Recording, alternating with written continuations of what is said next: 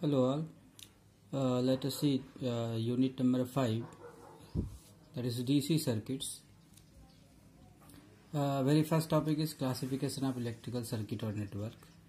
So before that we must know what is network. So network if two or more than two circuit elements two or more circuit elements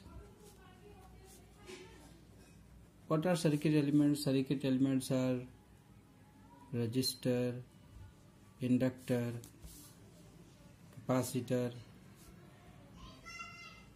voltage or current source voltage or current source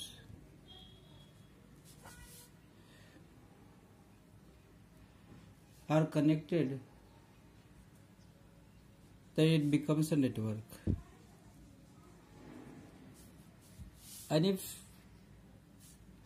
a closed path is provided for current then that network is known as circuit. Right? What, the, what does it mean? Say this is resistance this is capacitance and this is inductor. It is a network. There is no closed path. And if i connect one source a voltage source. Then this will become this is also network but this will be a circuit also right? Now classification. So classifications of electrical circuits are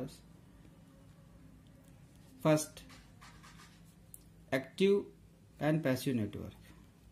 Active and passive network. Second is uh, unilateral and bilateral. Unilateral and bilateral network. Third is linear and non-linear network. And fourth is distributed and lumped network. Right. Let us see first. So active circuit or network. A circuit having source at least one source having at least one source. Source may be what? Voltage or current source. Is known as active circuit. And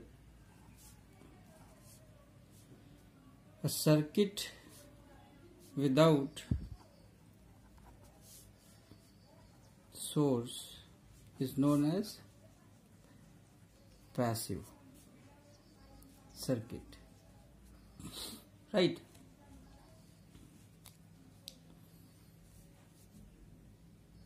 Coming to second that is the unilateral. Unilateral circuit. So the circuit in which circuit response that is current or current depends on direction of current. Response depends on direction of current is known as unilateral circuit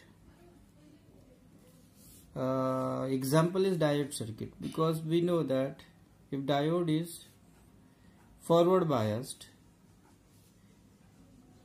then current will flow in this direction for applied voltage. Right? Some voltage is applied. But when diode is reverse biased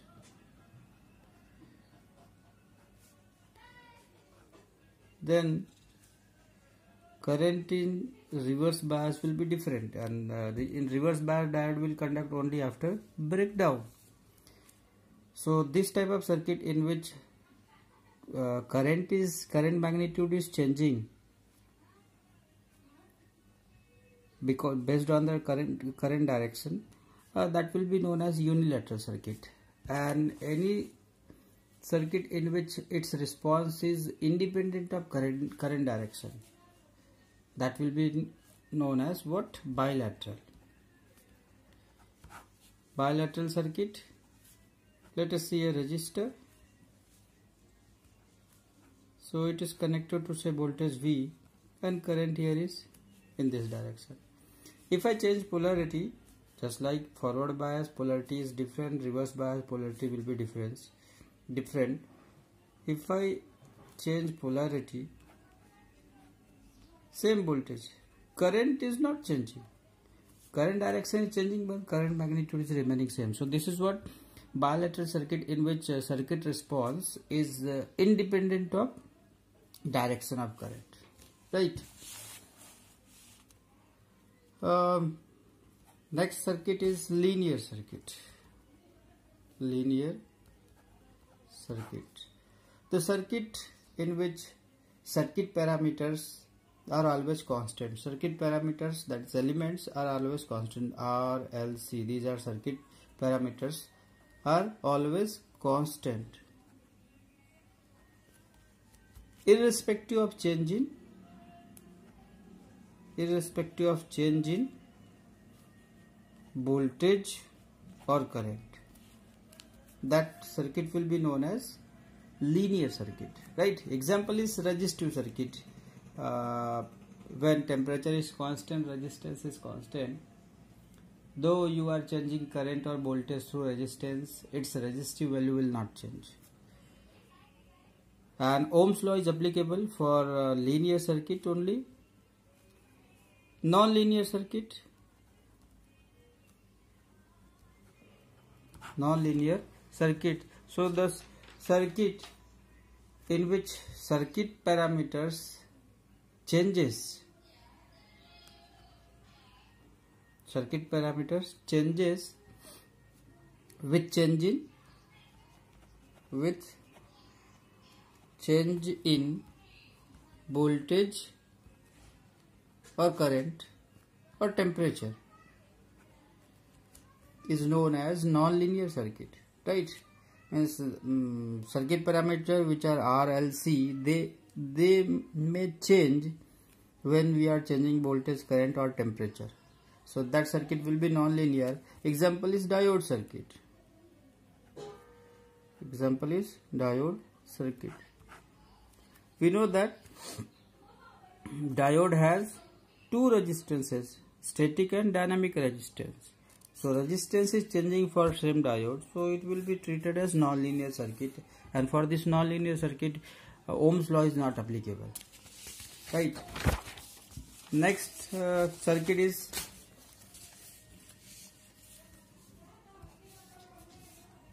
lumped circuit. The lumped circuit is that circuit in which all circuit elements circuit elements are physically separable. Physically separable we can separate all uh, circuit elements from the circuit. That will be known as what? Lump circuit. Example is any circuit in, on breadboard we know